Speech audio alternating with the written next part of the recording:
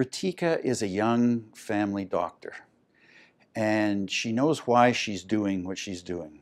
Uh, and she deals with very marginalized people, often the homeless, sometimes those with mental illness, almost always with people who are poor.